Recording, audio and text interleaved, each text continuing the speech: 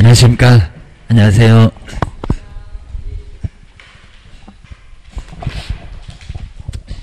자, 오늘은 저 뒤에 이제 사장 쪽에 이제 중개 업무, 중개 업무 보겠습니다. 이 중개 업무는 꽤나 많이 나오니까 정리를 좀 해놓으셔야 됩니다.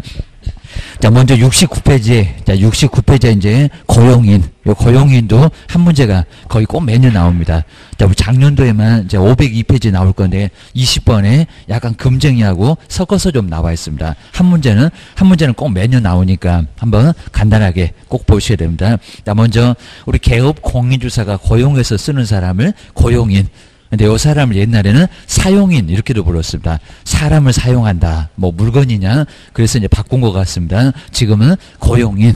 그러니까 아주 오래전에 공부하신 분은 사용인 이렇게 얘기할 겁니다. 아직은 아 이제 사용인 아예 빼버렸습니다. 뭐 고용인. 고용해서 쓰는 사람.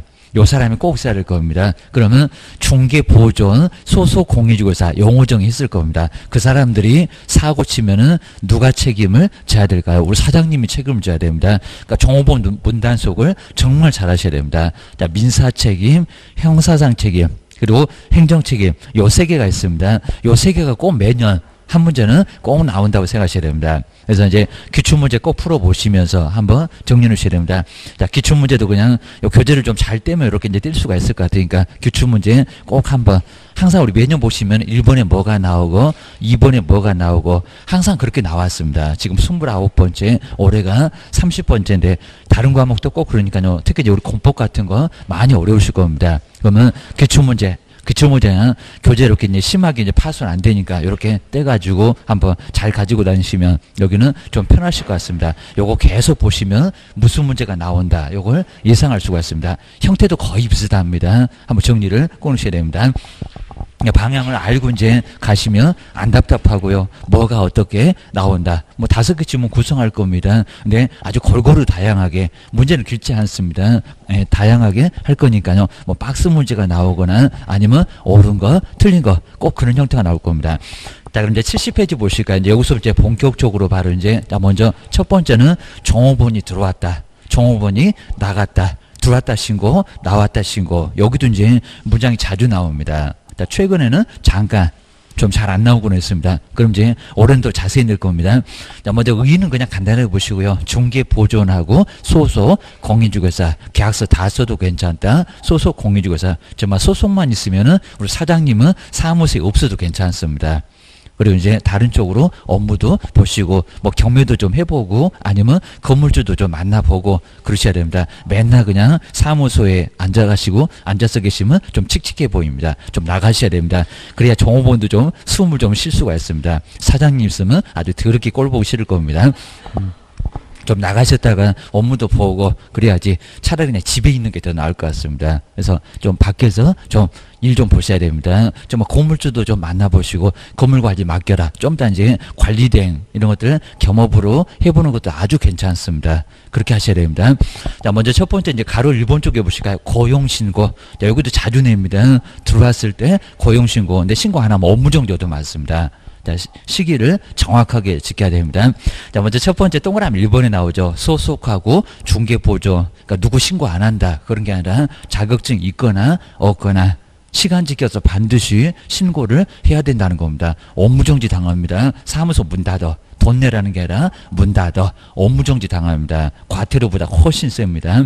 제재도 물어보고요. 자 먼저 고용을 했을 때 저기 실무교육은 소속이 받는 게 실무교육 4일 사장님하고 빡세게 종업원 자격증 있으면 실무 교육 받습니다. 그럽니다. 계약서도 막 써보고 확인 설명서도 써보고 이런 걸 다 배웁니다. 그 다음에 직무교육은 요 사람 이제 커피 타는 교육. 그러니까 우리 작년도에 바로 책임자 보고 직무교육 받는다. 그전에도 계속 나왔습니다. 아니요. 중개 보존이 받습니다. 꼭 기억해 놓으셔야 됩니다. 요거는 3시간에서 4시간 아주 간단하게 정말 잠깐 졸다가 보면 끝나는 게 직무 교육입니다. 요 시간도 맨날 물어봅니다. 직무 교육을 받도록 하고 나서 그리고 이제 여기가 중요합니다. 자 먼저 70페이지 딱 중간 정도에 두 번째 줄에 업무 개시 전 요거 꼭 밑줄을 넣으셔야 됩니다. 업무를 개시를 하기 전까지 요걸 자꾸 바꿉니다. 뭐 열흘 이내 그러면 안 됩니다. 업무 개시 전. 그러니까 처음에 법이 만들어졌을 때는 열흘 이내 먼저 들어왔을 때는 시간을 좀 줬습니다. 근데 지금 시간이 있나요, 없나요? 없습니다. 업무 개시 전. 그리고 저기 등록 신청해서 저 끝에도 한번 써봤습니다. 인장 등록 그리고 고용 신고 그리고 보증 설정 그 세 개가 업무 개시 전이었습니다. 이건 아주 중요하니까 업무 개시 전까지 이런 거 까먹지 말아야 됩니다. 사무소 문 닫으려고 까먹냐라고 기억을 주셔야 됩니다. 그다음에 등록관청이면 시군구 우리 같으면 세종시장님한테 신고하십시오. 그리고 가로도 중요합니다. 요 가로도 최근에 들어왔습니다. 이제 시험 문제가 바로 기초 문제 나왔습니다. 28회 때가 거 뒤에도 보면은 1번 정답이 요거였습니다. 가로 보실까요? 전자문서. 그러니까 인터넷으로 방문 않고 인터넷으로 신고할 수 있다 없다 신고할 수 있다. 자 서식이 바로 인터넷으로 열려 있습니다. 그 서식으로 누구 종업원 누구 그리고 종업원 중에서도 자격증 있는 소속 누구고 중개보전 누구고 이런 식으로 신고를 해야 된다는 겁니다. 근데 꼭 방문이다? 아닙니다. 뭐도 가능하다고요? 전자 문서. 거기 전자 문서도 꼭 밑줄 한번 해놓으실까요? 방문으로만 그러면 X. 자 이미 시험 문제 기출 문제가 바로 전자 문서가 되면서 바로 시험 문제 나왔습니다. 근데 어, 작년에는 언급 안 했고 자, 올해 정도 되면 또 언급을 해볼 만합니다. 전자 문서. 자, 우리가 지금 인터넷 시대입니다. 가기는 왜가? 라고 해서 전자문서로 신고를 할 수가 있다는 겁니다. 인터넷 문서로 됩니다. 종이가 자꾸 없어진다. 기억을 주셔야 됩니다. 그 다음에 두 번째 보실까요? 그리고, 자, 요거 이제 간단하게 보실까요? 자격증 낼까요? 안 낼까요? 뭐, 죄다 없애버렸습니다. 자격증 위조에다가 내더라. 자, 먼저, 고용 신고를 받은 등록관청은, 그럼 등록관청, 시장, 군수, 구청장, 이분이 자격증 안 줬죠. 그러면 시도지사한테 자격증 주셨습니까? 더 윗사람. 그 얘기입니다. 그럼 이제, 공인중개사 자격증을 발급했던 누구요? 시도지사한테. 그리고 그 소속 공인주사 자격증, 이렇게 자격 확인을 뭐합니까? 요청. 도지사님한테 자격증 주셨습니까? 라고 물어보게 된다는 겁니다. 우리 뭐 세종시 같으면 세종시장님 자기가 알 거고 기억을 주셔야 됩니다. 자, 먼저 자격증 낸다, 낸다, 안 낸다. 그럼 여기도 이제 첫 번째 동그라미 2번에 딱 중간 정도의 자격증. 거기다가 여기는 이제 여기 이제 안 내니까 제출 X. 요 제출 X라고 꼭 위에다가 써놔도 괜찮을 것 같습니다. 안 내. 낸다고 하면 X, 가지고 하면 쓰레기통에 들어가요. 기억을 주셔야 됩니다. 그다음 이제 뭐 세 번째는 서식 있다. 저기 뭐 전자문서하고 똑같은 서식이 있다. 자, 서식이 있으니까 그 서식을 A4 용지입니다. 거기다가 종업원 누구다. 라고 그 서식에 맞춰서 신고하십시오. 라고 기억하셔야 됩니다. 그리고 뭐 3, 4, 5는 뭐 나란히 뭐 중요할 거는 없을 것 같습니다. 그 다음 이제 2번 보시니까 이제 가로 2번 쭉 내려왔습니다. 가로 2번에서 나갔다 신고. 근데 옛날에는 해고 신고 그랬습니다. 해고. 그러면 안 내보내고 스스로 나가면 신고 안 하겠네. 그러니까 이제 종료로 바꿨습니다. 뭐 이렇게 끝나건 저렇게 끝나건 끝났으면 끝났다고 신고하십시오. 혼자 자발적으로 나갔다 그것도 종료. 우리가 너 내, 나가라 라고 해서 내보낼 수도 있을 겁니다. 그럼 거기가 해고인데 하여튼 끝나면은 끝났다고 신고를 하시라는 겁니다. 근데 여기 이제 열흘 이내라고 시간을 줍니다. 이제 요놈 엄청 시험 문제 많이 냈습니다. 아주 쉬울 때는 30일 이내 이렇게도 냈었고요. 그렇게 넉넉하게 시간을 줄까요? 근데 일주일이 애매합니다. 7일 이내 라고 하면 맞을 것 같은데 일주일도 아닙니다. 그죠? 열흘. 시간을 넉넉하게 주겠다. 그러면 쭉 내려보실까요? 고용 관계가 종료되면은 그다음에 두 번째 줄에 이제 중간에 있네요. 고용 관계 종료된 날로부터 얼마. 그러니까 여기는 바로 세라는 겁니다. 날로부터 그랬으니까 또 개인도 민법처럼 다음 날 이러면 안 된다는 겁니다. 이길 말고 그 날로부터 얼마 열흘 이내 딱 열흘 됐을 때 애매하시면 뭐 문제가 된다는 겁니다. 나간 날로부터 거기서부터 하루하루 세라는 겁니다. 얼마 이내? 열흘. 자, 그 열흘 이내가 아주 중요하니까 열흘 이내 그거 꼭 밑줄이나 박스를 좀잘 놓으셔야 됩니다. 들어왔을 때는 업무 개시 전 이제 차이가 있죠. 자, 들어오면 좀 급합니다. 들어왔다 신고. 업무 개시 전에 신고를 하라는 겁니다. 근데 나갔다 신고는 열흘 근데 여기도 이제 열흘 정도 시간을 준다는 게 일주일 만에 새로 들어올 수 있죠. 그러니까 거기서 신고하라고 하게 되면 신고했다가 또 들어왔다 신고 뭐 신고하다가 정신없어 죽겠네 이러니까 열흘 정도 게입니다. 열심히 생각하다가 게입니다.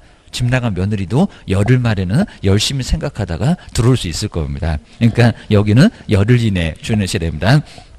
정말 열심히 생각하다가 이제 들어가야 되는 거예요. 말아야 되는 건 남편도 아무 소리 없고 그럼 들어가야 됩니다. 안 그러면 이제 나중에 정말 아주 비밀번호 바꾸고 이제 들어갈 수도 없습니다. 자 그러니까 요거는 들어가셔야 됩니다. 저희는 그냥 찬바람 쐬고 왔다 그러면 괜찮습니다. 이제 그 정도 보시면 될 거고요. 그 다음에 오른쪽에 보실까요? 괜히 그냥 정말 나가면, 집 나가면 무슨 고생합니다. 하시야 됩니다. 그 다음에 이제 71페이지 보실까 이제 제재, 정말 제재가 뭐다? 사무소 문 닫으라, 업무정지. 이게 과태료가 아니라는 겁니다. 제재는 업무정지라고. 근데 또 해석으로만 가능하니까 별표는 또 1개월. 어, 작년에는 별표 한 개도 안 나왔지만 아마 올해는 좀 나올 거예요. 기억을 주셔야 됩니다. 그럼 이제 가로 세 번째 다른 문장 다 놔둬버리고요. 이제 세 번째 줄에 업무 정지 그것만 몇 줄을 해놓으시면 될 것 같습니다. 과태료 아니다라고 업무 정지 사무소 문 닫아 이 정도로 제재가 좀 세다라고 기억을 주셔야 됩니다. 그다음에 뭐 소속하고 중개 보존 뭐 사실 뭐 비교할 것 자체가 거의 없을 정도로 이런 거는 시험 문제 정도 안 낼 정도입니다. 자 먼저 소속은 할 수 있는 일 거기 박스가 좀 모두 할 수가 있습니다. 그리고 오히려 할 수 있으니까 인장 등록해라. 소속도 인장 등록 안 하면 자격정지를 얻어맞습니다. 너 나가. 라고 해서 기본적으로 3개월을 쫓겨날 수가 있습니다. 근데 중개 보조는 자격증이 없으니까 뭐 할 거 있습니까 없습니까? 아무것도 못해. 정말 그러니까 정말 커피 따고 운전밖에 아예 못한다는 겁니다. 마스크 씌워놨으니까 설명도 못하고 아예 수갑 채워놨으니까 계약서도 못 씁니다. 도장 등록할 것도 없다라고 났습니다. 정말 저기 중개 보조 보실까요? 아무것도 없으니까 할 것도 아무것도 없음 그래놨습니다. 자, 억울함 자격증 따봐봐. 그럽니다. 그 다음 이제 세 번째, 뭐, 요건 뭐 자세히 볼 건 없을 정도로 앞쪽에 소속, 영웅정이 그대로 나왔네요. 자, 가로에, 자, 뭐 여기도 이제 포함, 제외. 정말 이제 생각나실 겁니다. 첫 번째, 요건 정말 자주 낸다고 했습니다. 임원 사원도 다 소속이다. 그러니까 이다. 여기 맞다고 있습니다. 업무를 수행할 수 있다 없다 수행할 수 있다. 금방 봤네요. 저 수행이 저 박스에 들어가 있는 뭐 서명 미 날이 이런 겁니다. 정말 수행 그리고 보조 다해 소속은 알아서 다해 요 소리 합니다. 근데 이제 중개 보존 3번 쪽으로 내려도 되고요. 근데 3번에 보시면 중개 보존은 두 번째 앞쪽에 있죠. 현장 안내. 맨날 운전만 해야 된다고 현장 안내. 안내만 해라. 게입니다. 그리고 일반 서무, 커피 타고 청소하는 일반 서무 등 요거밖에 못 한다는 겁니다. 저기 문장에다가 확인 설명, 거래 계약서 작성 이러면 큰일 난다는 겁니다. 그러면 교도소가 3학년 3반으로 아주 문제가 됩니다. 그리고 아래쪽에 정말 중개 보정 뭐할 일이 없습니다. 서명 날인할 것도 없고 오히려 쓰면 문제가 된다는 겁니다. 인장 등록할 것도 없고 게입니다. 단순한 바로 자격증 없는 사람이니까 할 거 없다. 라고 커피 타고 청소만 잘해라. 이런 소리 합니다. 그러니까 이제 뒤로 한번 넘겨오실까요? 자, 여기서 이제 정말 중요한 게 민사 책임, 밥상 세 개입니다. 그리고 행정상 책임. 아마 올해 정도 되면 단독으로 분명히 한 문제가 나올 겁니다. 작년만 금정이하고 같이 묶어서 20번에 나와 있습니다. 변호셔야 됩니다. 하여튼 그래도 나오긴 나왔습니다. 문장이 몇 개가 섞어져 있습니다. 자, 먼저 첫 번째 가로 1번을 볼까? 이제 손해배상. 그리고 동그라미 1번도 정말 시험 문제 많이 냈었고요. 모든 행위가 그리고 추정인가 간중가 요게 이제 딱 정말 길목을 알고 계셔야 됩니다. 자 그럼 시험장에 가도 안 떨리고 금방 알아요 요게입니다. 자 먼저 중개 보존 우리 소속 공인주사고 중개 보존 틀을 묶어다가 거용인 근데 무슨 행위라고 씁니까? 업무상 행위. 자, 첫 번째 줄에 딱 중간에 있습니다. 업무상 행위. 자, 그 위에다가 모든 행위 아니라고 꼭 정말 정리해 놓으실까요? 정말 시험 문제 많이 나왔습니다. 모든 행위 말고 무슨 행위라고요? 업무상 행위. 업무상 행위지 정말 모든 행위는 아니라는 겁니다. 업무상의 행위. 그러니까 사무소 내에서 벌어진 일 그것만 책임지라고 했지 모든 행위를 책임지라고 했나요? 아니라는 겁니다. 기억하셔야 됩니다. 자, 모든 행위입니다. 밖에서 나가서, 밖에서 나가서 사고 친 거, 요것도 우리가 책임질까요? 우리 사장님이 아니다, 그입니다. 자, 그것도 책임져라 그러면 아예 벌리를 못 봅니다. 저것이 밖에 나가면 엄청 그냥 긴장되고 계입니다. 요거는 책임지지 않습니다. 사무소 내에서만 벌어진 일, 요것만 책임을 지라는 겁니다. 그러니까 정말 모든 행위가 아니라고. 모든 행위 그럼 차라리 죽으라고 해라. 고소하고 똑같다고 했습니다.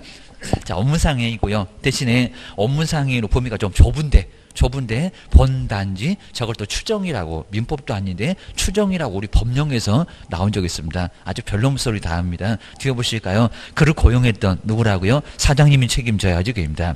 네가 고용해서 쓰니까 그리고 종, 에, 중개 보존하고 소속이 예, 계약서를 딱 바로 계약을 완성시켜도 중개 보수 받을 수 있다는 겁니다. 그럼 돈 더 받네? 그러면 책임도 져야 되겠네 그입니다. 유리한 것만 취득할 거냐 고소리합니다. 그다음 뒤에 보실까요? 그를 고용했던 누구라고요? 개업 공인조사의 그 사장님일 건데 행위로 뭐한다? 본다. 꼼짝도 못하게 한다는 겁니다.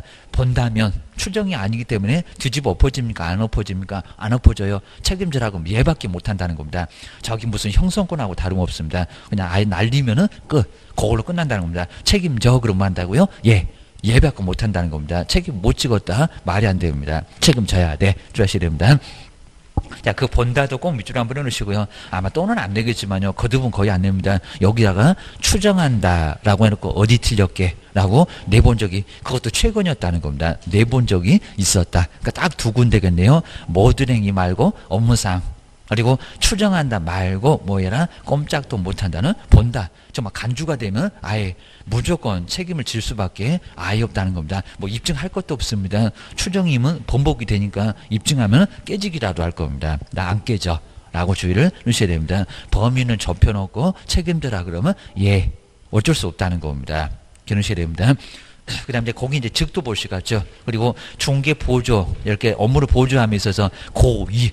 그러니까 이미 뻔히 우리 정원본청에서 사고 나갔다, 손에 나갔다. 이미 빤히 알았다는 겁니다. 근데 과실은 좀 억울합니다. 알 수 있었는데 왜 몰랐느냐, 입니다 저기 비즈니 표시가면 알았거나 알 수 있었거나 이런 수가 나올 겁니다. 그거하고 똑같다라고 기억을 주셔야 됩니다. 자꾸 같이 연결해 보시고요. 그리고 거래 당사자에게 바로 재산상의 손해를 입히면 이것도 법에 그대로 나와 있다는 겁니다. 그리고 그를 고용했던 누구라고요? 개업 공인주사에게도 그러면 정호본도 손해배상, 우리 사장님도 손해배상. 이걸 뭐라 합니까? 니네 둘 다다 책임져 연대라고 합니다. 연대입니다. 자, 빚 못 갚으면 보증인 책임져라. 그게 연대채무 아닙니까? 이런 소리입니다. 자, 그러면 저기 두 번째 째 끝에 정말 중요한 거 나왔습니다. 민사 책임은 손해 배상 책임. 근데 그 손해 배상 책임 어떻게 진다고요? 둘 똑같이. 둘 똑같이 어떻게? 연대. 연대 책임을 져야 됩니다. 사장님은 저는 책임 못 찍었습니다. X. 그리고 너무 쉽게 나왔습니다. 정호보는 손해배상 책임이 없다. 말이 안 되겠죠. 사고를 쳤는데 왜 책임이 없겠냐고입니다. 너도 같이 책임져야지. 준실입니다. 자, 그 정도로 해서 이제 손해배상 책임 지금 세 군데 밑줄 그어져 있습니다. 업무상하고 본다. 그리고 손해배상 책임 그리고 아래 판례 아예 볼실 거 없습니다. 뭐 이런 거 안 나와. 그냥 다 책임졌다네 이런 소리니까 어려울 건 없으니까 요건 정말 판례 네개 전혀 안 봐도 안 봐도 되는 판례가 있습니다 다 알 수 있는 판례 제만 꼼짝 못하게 책임지니까 조심하세요 라고 기억을 주셔야 됩니다 그 다음에 오른쪽을 보실까요? 그러니까 어렵게 안 나오고 정말 간단하게 나오니까요. 밥상 세개 있더라. 라고 기억을 주셔야 됩니다. 그리고 자 73페이지 저 꼭대기 보실까요? 자 이미 저 앞에 있었는데 그냥 밑줄만 해놓으실까요? 가로가 좋겠네요. 무과실. 그러니까 종업원의 책임에 대해서는 우리 사장님이 뭐 여기도 상당한 주의를 했다 안 했다 그런 거 입증할 필요가 아예 없다는 겁니다. 책임져 그러면 얘밖에 못 한다는 겁니다. 과실이 없어도 책임진다를 무과실이라고 합니다. 저기 이제 가로에 무과실 책임 한번 밑줄 한번 해놓으시고요. 그리고 이제 그 동그라미 2번에서 제일 아래 가시면 한 네 번째 줄에 딱 중간 정도 있네요. 연대 채무. 자, 부진정은 안, 여기 체크 안 해도 괜찮고, 연대 채무. 그 정도 꼭 밑줄 한번 넣으셔야 됩니다. 연대가 똑같이, 똑같이. 정업원도 천만 원 깨먹었으면 천만 원. 우리 사장님도 내가 손에 사고 안 쳤는데도 천만 원을 똑같이 물어내야 된다는 겁니다. 순서도 없습니다. 매도모의 수는 골라먹는 재미도 있습니다. 한꺼번에 책임져라. 사장님 네가 무조건 책임져라. 보증 설정 돼 있으니까 1억 원 있으니까 네가 책임져 그러면 꼼짝 못한다는 겁니다. 주셔야 됩니다.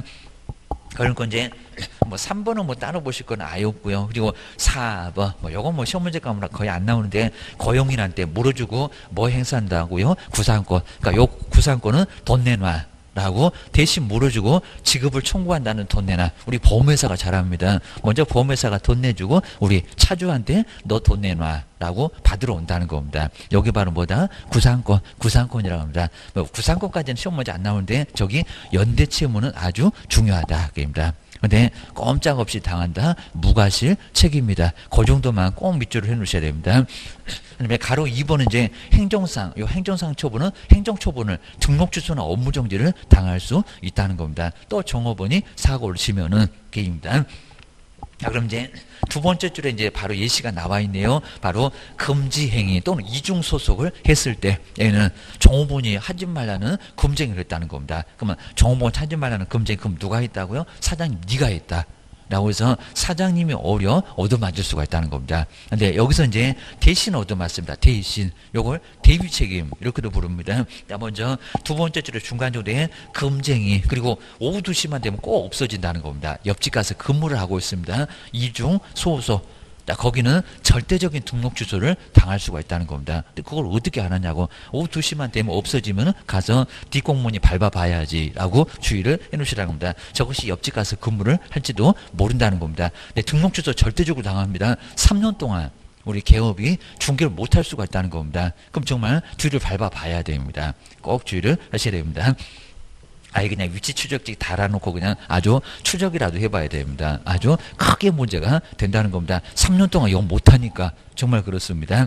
자, 먼저 금쟁이 등, 자, 그 아래 보시가요. 등록 주소, 그리고 업무 정지. 네, 그 등록 주소가 절대적도 있고 상대적도 있다는 겁니다. 상대적은 싹싹 빌면 그래도 봐주기라도 합니다. 네, 절대적은 절대 안 봐준다는 겁니다. 이 정도로 나중에 정량, 그리고 육사, 거기서 이제 나중에 다 배우실 겁니다. 자, 등록 주소까지도 받을 수가 있다는 겁니다. 그러면 그 뒤에 이제 중요한 문장 나와 있네요. 행정 처분. 저 행정상 책임은 행정 처분 등록 주소나 업무 정지를 당할 수 있다는 겁니다. 차라리 돈 물어주는 게 더 낫겠죠. 계약서 몇 개 쓰면 되니까.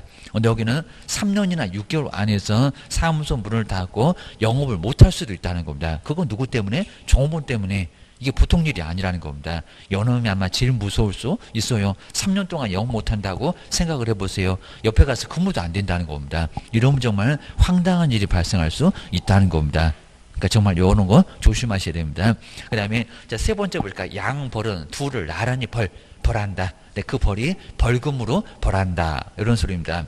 이런 것도 자주 나왔습니다. 요 세 개는 정말 안 나온 게 없을 정도니까 꼭 정리해 주셔야 됩니다. 밥상 세 개, 민상 돈 물어주는 거, 그리고 두 번째 행정상은 문 닫는 거, 그리고 세 번째 양벌, 저기 형사 책임은 이제 벌금 내는 거. 아주 여러 가지로 다양하게 책임이 그러니까 한꺼번에 밥상이 세 개가 몰려올 수도 있다는 겁니다. 그거 다 먹으면 정말 배 터질 겁니다. 조심하셔야 됩니다.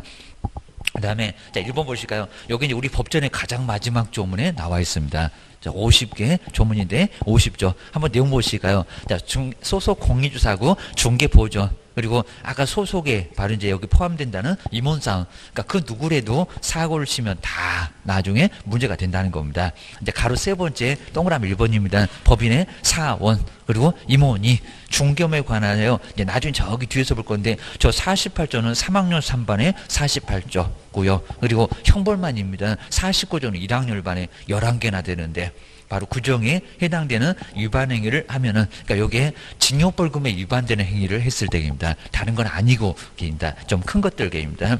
그리고 이제 위반 행위를 하면은 그리고 그 행위자가 종업원입니다. 아까 고용인 게입니다. 그 행위자를 보라는 외의에 둘을 이렇게 나란히 보라 하잖아요. 종업원 말고 개업도 너도 같이 벌금 내 그럽니다. 여기 나오죠. 개업 공인주사. 그러니까 이렇게 행위자하고 우리 개업이니까 둘. 그 둘을 뭐라고요? 양. 그죠? 양벌. 둘을 아는지 벌한다고 양벌 그려놨습니다. 그리고 자, 대에서도 뭐 한다고요? 해당되는 조에 규정된. 근데 우리는 징역이 있다 없다. 징역이 사장님은 없다. 너 해당되는 뭐라고요? 벌금형을 간다. 거기 이제 세 번째 줄에 거기 끝에쯤에 해당되는 조에 규정된 벌금형 거기를 꼭 밑줄 한번 걸어놓으실까요? 그러니까 여기다 징역도 있다. 그러면 X. 우리가 사고 친 것도 없는데 우리 보고 교도소 가래요. 교도소 가서 아예 살래요. 정말 차라리 그럼 정말 죽으라고 할 겁니다. 돈 내는 것도 억울해 죽겠구만. 그래서 여기는 벌금형만 가겠다는 겁니다. 자, 15에 가장 어렵다는 1%밖에 합격 못했다는 경우도 여기다가 냈었다는 겁니다. 동일한 벌금형 해놓고 왜 틀렸느냐 이렇게 내본 적도 있었다는 겁니다. 그 후에는 거의 내본 적이 없고요. 게임입니다. 다 쓰러졌습니다. 주셔야 됩니다. 아, 여기도 보면은 동일한 벌금형이라고 안 했죠. 입니다 벌금은 다를 수 있어. 정호보는 2천, 사장님은 천. 오히려 반대로 정보는 천만 원인데 우리는 삼천 이럴 수도 있다는 겁니다. 그러니까 거기는 뭐라고 써요? 동일하다고 했나요? 벌금형이? 아니요. 동일하다고는 안 했다는 겁니다. 자, 그냥 동저에 규정된 벌금형 3천만 원, 천만 원이면 그 안에서 정호봉과 우리 사장님은 벌금이 각각 금액이 다를 수 있다는 겁니다. 물론 우연하게 같을 수도 있고 게입니다. 그래서 세 번째 저 끝에다가 동일 X, 동일은 아니라고 합니다. 그런 문장 나오면 정말 어디가 틀렸대 정말 보이질 않습니다. 시험장에서 또 긴장하니까 그게 어떠, 어떻게 보이냐고 합니다. 요 정도니까 좀은 요거는 조금 주의하셔야 됩니다. 또 그렇게 내볼 가능성도 좀 있다는 겁니다. 동일하다고 누가 그랬니 주의하셔야 됩니다. 벌금은 그때그때 달라요. 라고 기억을 꺼내셔야 됩니다. 그리고 이제 동그라미 2번에 엄청 써놨는데요. 저 10조가 이제 결격 사유입니다. 그럼 뭐 저번 주 끝에 배웠네요. 벌금을 300만 원 이상 받으면은 3년 동안 중개업을 못 한다. 근데 여긴 잘 보실게요. 정호본 때문에 내가 아니라 우리 사장님이랑 정호본 때문에 벌금을 받았다는 겁니다. 그러면 정호본 때문에 벌금 받은 것도 등록주도 되냐고. 네, 그건 아닙니다. 그건 너무 가혹하죠. 그러니까 여기는 양벌 규정으로 처벌 받아도 그 다음에 결격사유에 해당된다 안 된다 해당 안 된다. 그걸 아주 복잡하게 써놨습니다. 저기 끝에가 이제 양벌 규정으로 처벌 받은 경우는 포함되지 않는다가 결격 사유에는 포함되지 않는다. 그럼 정호본 때문에 벌금 300만 원 이상을 받아도 등록 취소는 된다 안 된다? 안 된다. 이게 좀 복잡할 것 같으면 등록 취소 X 이렇게 써놓으시면 될 것 같습니다. 벌금만 내면 되고요. 벌금만 내면 되고 정보 때문이니까 그러니까 내가 잘못하면은 벌금 300만 원 이상은 등록 취소되고 3년 동안 이용 못 한다는 겁니다. 이건 정원본 때문이니까 등록 취소 된다 안 된다? 안 된다. 제일 마지막에다가 등록 취소는 X 이렇게 써놓으시면 될 것 같습니다. 등록 취소는 안 된다라고 기억을 주셔야 됩니다. 아, 그 정도는 그 이제 여기 좀 많이 어려우니까요. 한번 정리를 해놔야 됩니다. 그리고 반드시 한 문제가 꼭 나오니까요. 한번 정리를 아마 어느 정도 되면은 단독으로 작년도에 섞어서 그냥 20번에다가 금정이하고 한꺼번에 묶어서 자 그런 문제도 괜찮긴 했습니다. 근데 묶어서 한 문제로 개입니다. 그래서 이제 여기 이제 69페이지에 꼭 한 반드시 한 문제. 자 먼저 고용인, 요 고용인입니다. 고용인은 누구 보고요? 우리 개업 보고 책임지십시오. 이건 반드시 한 문제가 올해나마 단독으로 아주 한 문제가 나올 거고 금정이도 당연히 단독으로 하나가 나올 거고 한 문제가 반드시 나온다고 생각하셔야 됩니다. 밥상 세개 그리고 들어왔다 신고 나갔다 신고 그걸 잘못해도 책임져라 요소리 한다는 겁니다. 정말 사무소 문 닫고 놀아야 됩니다. 자 먼저 첫 번째 이제 고용 신고입니다. 고용 신고 들어갔다 신고 고용 신고하고 나갔다 신고 종료 신고 옛날에 정말 해고라고 했는데 해고가 그죠 내가 안 내 보내고 지가 나가면 신고 안 할 거냐 자발적 쪽으로 나갔을 때 그것도 어차피 신고를 해야 되는데 문장이 애매하니까요. 해고를 없애버리고 지금은 종료 신고 나갔다 신고입니다. 지가 나가든지 내보내든지 하여튼 무조건 신고해라. 요 소리 합니다. 자 먼저 자, 첫 번째 보실까요? 고용 신고 보실까요? 고용 신고를 열을 그러면 안 됩니다. 고용 신고 들어왔다 신고. 중개 보존이 됐건 소속 공인주사 됐건 자 고용 신고는 얼마 만에 하라고 했나요? 근데 여기다가 열흘 내 그러면 안 된다는 겁니다. 고용 신고는 얼마인데라고 죠 업무 개시자. 그러니까 등록 신청 때도 가능합니다. 근데 언제라고요? 업무 그러니까 그 종업원이 업무를 개시하기 전까지는 이렇게 개시하기 전까지는 뭐라고요? 신고를 하라는 겁니다. 근데 등록 신청 때도 가능하다고 했습니다. 거기는 하라고는 안 했는데 여기는 반드시 하야 한다. 근데 등록 신청 때는 할 수 있다는 겁니다. 자, 등록 신청 때 요때도 가능은 하다. 그러니까 등록 신청에서부터 업무 개시 전그 사이에 고용 신고를 하라는 겁니다. 안 하면 업무 정지야라고 주의를 하셔야 됩니다. 두 번째 이제 나갔다 신고 요 종료 신고를 정말 시험 문제 많이 냈습니다. 기간이 아주 애매하게입니다. 지체 없이 아니면 또 7일 전 그리고 15일도 오다 가다 보면 저기 보준 설정에서 이제 다음 주에 배울 건데 15일도 나온다는 겁니다. 근데 얼마냐? 그죠? 나갔다. 그죠? 열을 열심히 생각하다가 에, 가야 되겠네라고 괜히 그냥 성질 부리고 나왔는데 보니까 어디 다른데 오갈 데가 없다는 겁니다. 그럼 미안합니다 하고 머리 긁고 들어올 겁니다. 근데 얼마라고요? 그죠? 열을 그러니까 들어올 수도 있으니까 종료 신고는 지체 없이 아니라는 겁니다. 신고하다가 볼일을 못 보겠네. 정신 없어 죽겠네. 그러니까 일주일도 애매하다는 겁니다. 딱정 말 일주일만 되면 그 다음 주에 들어올 수 있을 겁니다. 그럼 이제 들어왔다고 신고 또 신고하고 이미 나갔다 신고하면 신고를 여러 번 해야 되니까 여기 뭐라고요? 열을 종료되고 나서 열흘 이내에 시간 좀 주겠다는 겁니다. 열심히 생각하다가 종업원이 열심히 생각하다가 들어오니까 뭐 사장님도 열흘 만에 신고를 하라는 겁니다. 10일 이내에 뭐 하라고요? 신고를 해야 된다. 근데 만약에 신고를 하지 않았을 때입니다. 제재가 있습니다. 이게 과태료가 아니라는 겁니다. 뭐요? 업무정지. 업무 정지, 업무 정지를 사무소 문 닫으라는 업무 정지를 받을 수가 있다는 겁니다. 근데 이제 뭐 이제 작년에 뭐한 문제 안 났다고 하더라도 별표 나중에 이제 별도의 표가 있는데요. 별도의 표가 있는데 거기 별표는 1월. 그러니까 요거는 해석으로 가능하게 되면 요걸 얼마라고요? 1월. 그러니까 나중에 이제 별표가 뭔지는 다 배우게 될 겁니다. 그러니까 이렇게 별도에 표를 두고요. 이렇게 별도에 딱 표를 두고 인장 등록은 3개월, 6개월, 확인 설명서는 얼마. 이러다가 보면 여기 제일 마지막에 해석으로 하여야 한다. 하여서는 아니 된다. 자, 그런 것들은 별도표가 이렇게 다 별표 해놓고 별표대로 자, 여기 보면 막 3개월도 있고 막 6월도 있고 다양하게 그러니까 여드로 별표대로 때린다는 겁니다. 근데 제일 마지막에 보면 해석으로 가능했을 때는 여기 규정에는 안 나오고요. 규정은 안 나오고 규정에 나온 놈들은 3개월하고 거의 6개월인데 여기는 1개월. 1개월로 아주 짧습니다. 그러니까 잠깐 잠깐 문 닫고 놀다가 보면은 1개월은 가게 될 거라는 겁니다. 그래서 여기 이제 별표 1개월 이런 게 별표가 자꾸 시험 문제 나왔었다는 겁니다. 아주 많이 날 때는 엄청 많이 나왔습니다. 딱 단독으로 한 문제 내놓고 별표 1개월이 많니 3개월이 많니 맞는 것만 찾아봐. 틀린 것만 찾아봐. 그런 문제가 이제 최근에 거의 안 나왔으니까 이런 것들은 조금 주의하셔야 됩니다. 중요한 게 따로 있을 겁니다. 그다음 이제 아까도 봤었던 것처럼 종료 신고 요거 반드시 방문입니까? 무엇으로요? 인터넷으로 전자문서 이렇게 전자문서도 된다 안 된다 첫 해 이미 바로 나왔습니다. 바로 이제 바로 뒤에 보면 기출 문제 일본 정답이었던 거 볼 겁니다. 전자문서 된다 안 된다 가능. 그러니까 요게 아주 예전부터가 아니라 최근에 들어와서입니다. 최근에 들어와서 전자문서도 가능하다. 라고 해서 2000 정말 18년 정도 이제 가능하다 이런 규정이 들어오면서 바로 시험 문제는 나왔다는 겁니다. 기억해놓으셔야 됩니다. 자, 그 정도 놓고 이제 이렇게 정료 신고는 전자문서도 가능. 자, 두 번째 이제 여기서부터입니다. 이제 책임.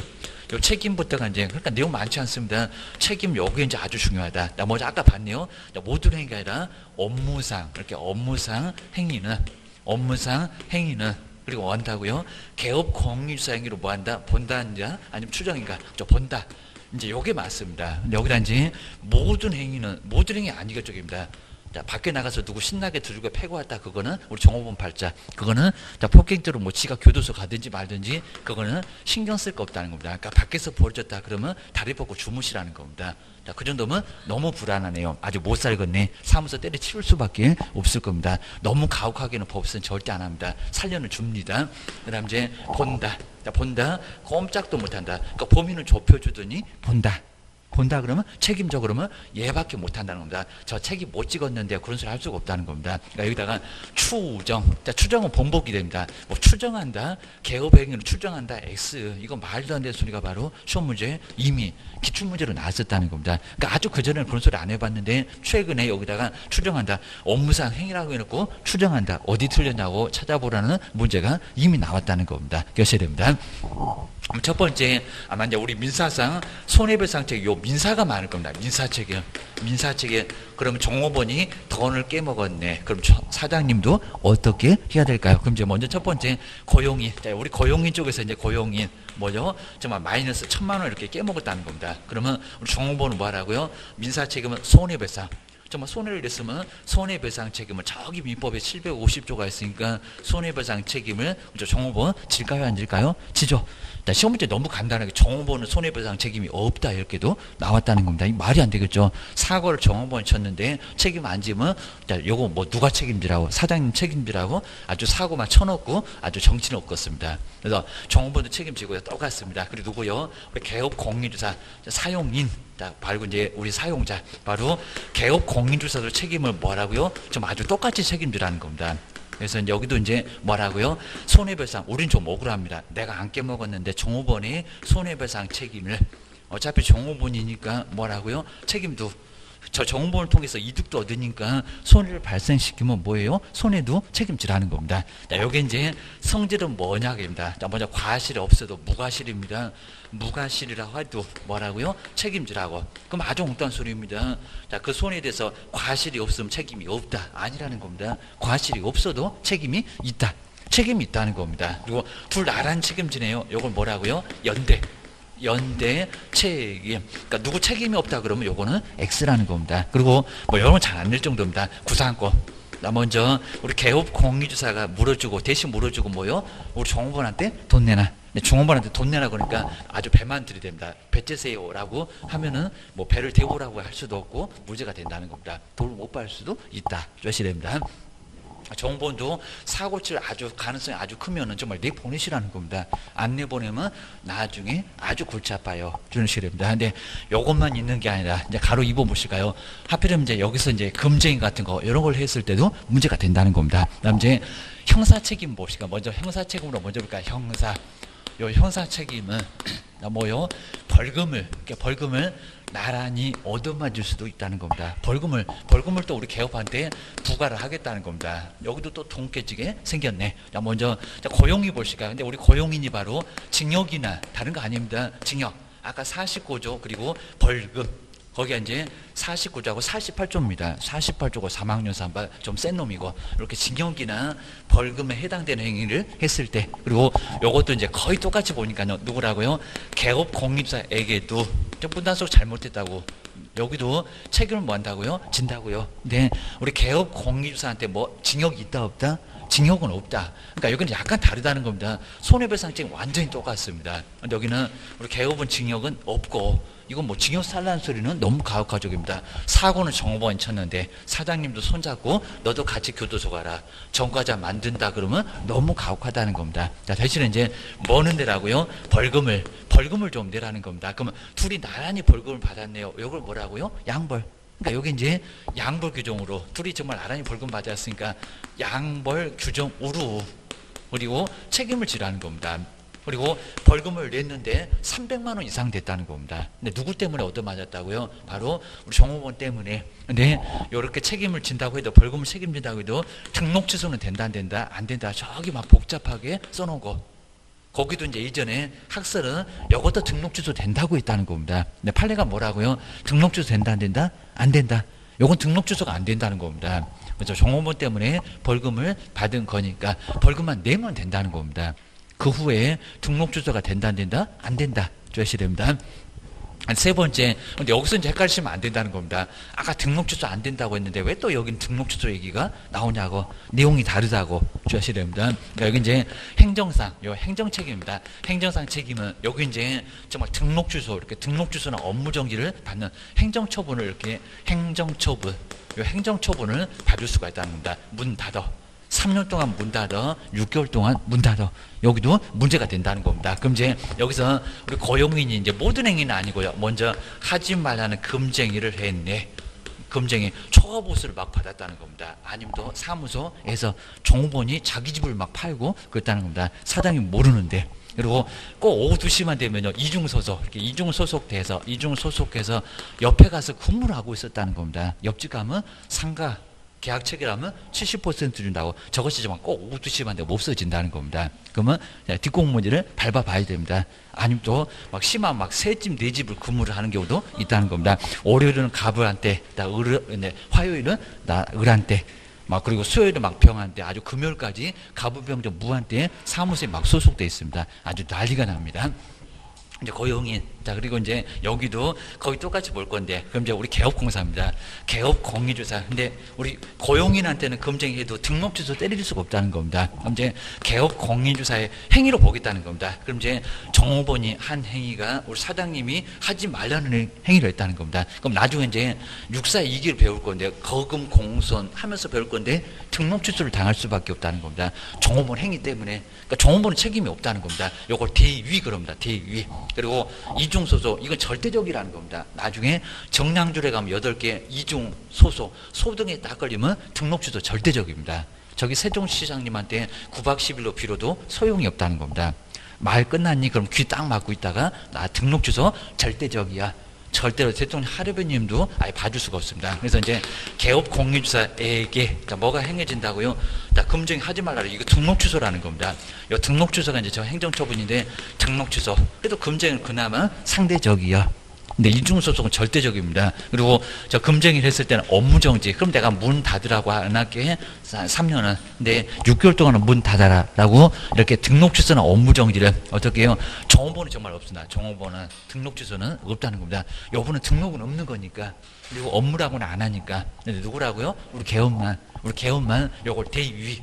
자, 저기 이제 민법 배우시면 뭐 채권자 대위 이런 거 배우실 겁니다. 그러니까 채권자 자리에 대신 앉아서 거기서 권리를 행사하는 게 바로 대위인데 오히려 사장님만 얻어맞아라 라고 해서 사장님만 대신 얻어맞는 대위 책임을 요게 가장 황당하다는 겁니다. 아주 여기는 우리 사장님만 등록 주소 받아갖고 3년 동안 영 못하고 그리고 업무정지 받아서 6개월 동안 요 금쟁이 뭐 무조건 업무정지도 여기는 별표가 3개월도 아니고 6개월짜리입니다. 6개월. 그리고 요건 무조건 등록 주소니까 뭐 업무정지도 없다는 겁니다. 3년 동안 문 닫아 해갖고 정말 절대적으로 업무정지 얻어 등록 주소 얻어 맞으면 3년 동안 종무 때문에 아예 업무를 볼 수가 없다는 겁니다. 옆에 가서 근무도 못해. 라고 기억을 주셔야 됩니다. 이 정도에서 이제 근데 요 세 가지 책임 자체가 다 문장이 다르죠. 민사는 똑같이 책임지라고 하더니 연대 그리고 벌금은 그리고 정호본도 벌금이지만 우리 정호본 더 센 놈도 있겠지만 징역도 있겠지만 둘을 나란히 버렸네 양벌 그리고 행정상이 정말 황당합니다. 그죠? 정호본은 무사하고 누구 개업한 때만 너만 대신 얻어 맞아라. 요거 3년 동안 영 못하는 등록주소 그것도 절대적 상대죠. 나눠지고 그러니까 많지는 않을 건데 뭐 금쟁이나 이중 소속에는 거의 없을 것 같습니다. 근데 여기 해당되면은 그러면 나중에 한꺼번에 밥상 세 개가 한꺼번에 몰릴 수 있다는 겁니다. 그럼 아주 난리가 납니다. 돈 깨지고 벌금 내고 문 닫고 이런 일이 발생한다는 겁니다. 그래서 정말 밥상 몇 개라고 밥상 세 개. 요 밥상 세 개가 항상 시험 문제가 나옵니다. 나옵니다. 그리고 여기 등록 주소 된다는 게 아까 벌금 냈을 때, 요 벌금 냈을 때는 금액 아예 안 묻고 벌금만 내면 끝나는데 여기는 금쟁이나 이준 소송이 되면은 그 벌금 얘기 하지 말고 여기는 뭐라고요? 등록 주소가 대신 떨어질 수도 있다는 겁니다. 근데 우리 사장님한테만 너무 억울하게 사장님에게만 그러니까 밥상 세 개가 다 다르다는 겁니다. 그러니까 어떤 분은 손해만 딱 나고 여기가 안 들어가면 손해만 물어주고 어, 아니면 어떤 분은 세 번째는 안 오고 행정적인 벌금까지만 물어주고 끝. 어떤 분은 밥상 세 개가 한꺼번에 몰려옵니다. 그러면 아주 크게 문제가 된다는 겁니다. 근데 검증을 하긴 했는데 손해가 안 났네. 그럼 1번은 제외. 나머지는 두 개. 이렇게 얻어맞을 수 있다는 겁니다. 좀 아주 다양하게 얻어맞을 수가 있습니다. 그래서 작년도에 시험 문제 20번에다가 케이스 문제 유사하게 금쟁이하고 그리고 손해배상하고 같이 묶어서 딱 연결되죠. 좀 하지 말아라. 그때 이제 뭐 거짓된 언행 뭐 이런 거 나온 것 같습니다. 정말 20번 나중에 잘 보시면 자 문제를 각각 내야 되는데 한 문제에다가 두 개를 한꺼번에 문제를 내놨다는 겁니다. 거기도 손해배상이 어쩌고 벌금이 어쩌고 금쟁이가 같이 섞어서 나온 적이 있었다는 겁니다. 보셔야 됩니다. 아, 거전되는 건 이제 한번 뒤로 넘겨보실까 이제 정말 조금 더 중요한 게 바로 여기 이제 바로 고용인 자, 그 다음 이제 한두 번째 진도에서는 74페이지 문제가 아주 괜찮으니까 그 정도 문제 잘 풀으면 옳은 거. 딱 답은 1번이었는데 나머지는 왜 틀렸을까요? 지금은 좀 많이 안 보이십니다. 또 괜히 또 이거 보면서 안 풀린다고 교재 집어 던지고 그러시면 안 됩니다. 지금은 정말 안 됩니다. 지금 벌써 알면 이제 하산하십니다. 그러면, 그죠? 9월 되면 이제 아예 그냥 기억 자체가 안 나버립니다. 그러니까 절대로 지금 알면 안 된다 생각하셔야 됩니다. 물론 이제 공부해 보신 분은 지금 알아야 되고 이제 또 기억이 없네. 뭐 들으면 들을수록 아주 새롭고 신선하면 큰일 나니까 작년에 공부하신 분은 아예 감이 잡혀야 됩니다. 올해 들었는데 전혀 기억이 안 난다 그러면 큰일 납니다. 그 다음 75페이지 이렇게 신고서 그러니까 여기에 인터넷으로 요 서식을 그대로 열리면 이렇게 종이로 써내면은 방문. 근데 여기에 인터넷으로 서식이 열려 있다는 겁니다.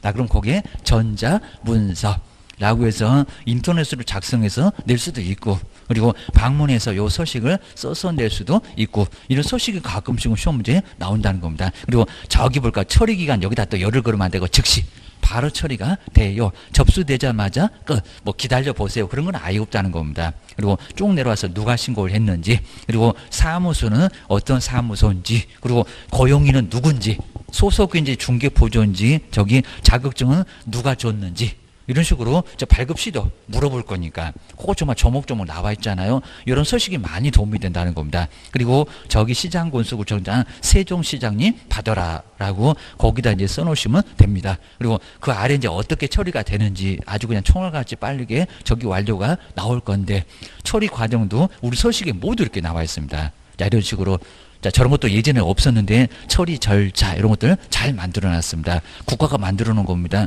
아주 여기는 어떻게 처리될 거요. 이렇게 이제 여기 모두 나와 있습니다. 그다음 이제 뒤에 자 뒤에 이제 저기 이제 겸업 자 이번에는 겸어 그리고 여기도 이제 작년도 문제에서 11번 우리 작년도 문제가 아주 괜찮았습니다. 그런 것들 하나만 잘 풀어보면은 매년 나오고 있습니다. 여기 시험 문제가 나온다. 자, 먼저 자, 업무적은 업무적은 그냥 간단하게 교재만 체크해 놓으실까요? 뭐 이런 거 안 나와.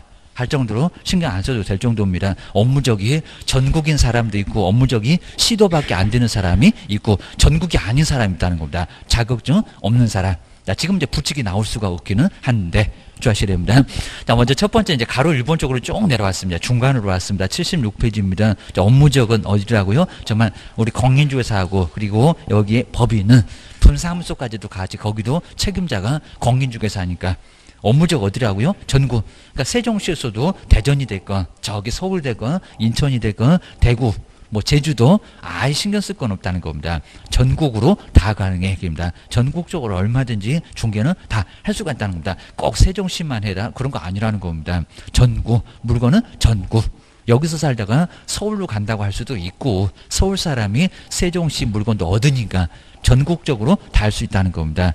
자, 두 번째 앞쪽에 전국 거기만 동그라미 해놓으셔야 됩니다. 뭐 뒤에는 볼 것도 없을 것 같고 그입니다.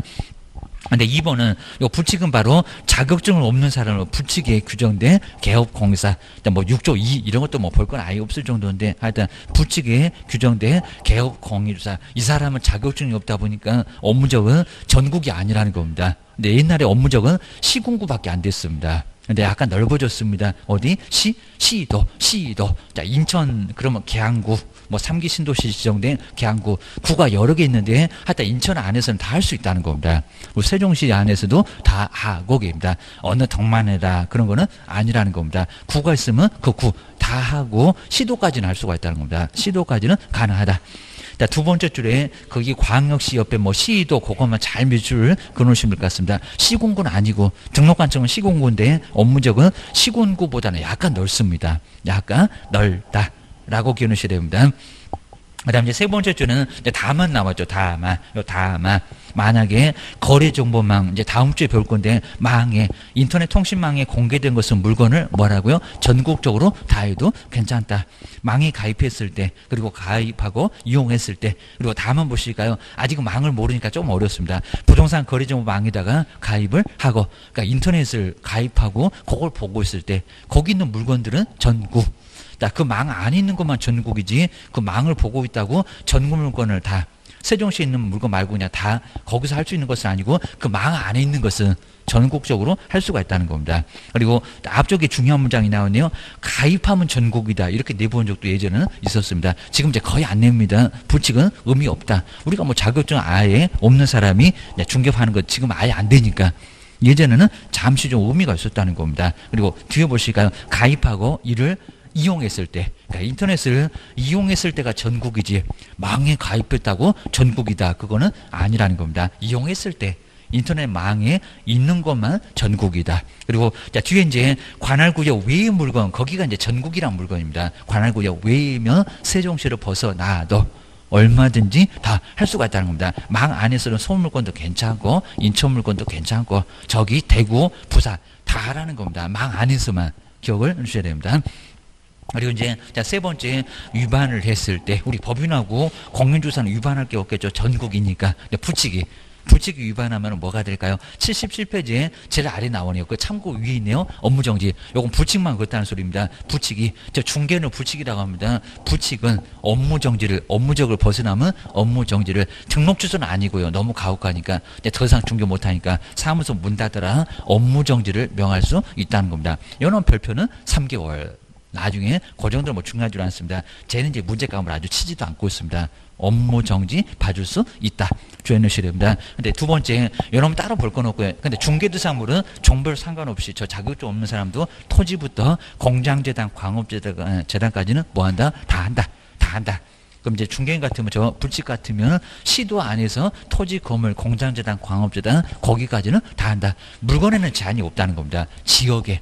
지역에 바로 제한이지 물건에는 제한이 있다 없다 없다 없다 줄이셔야 됩니다.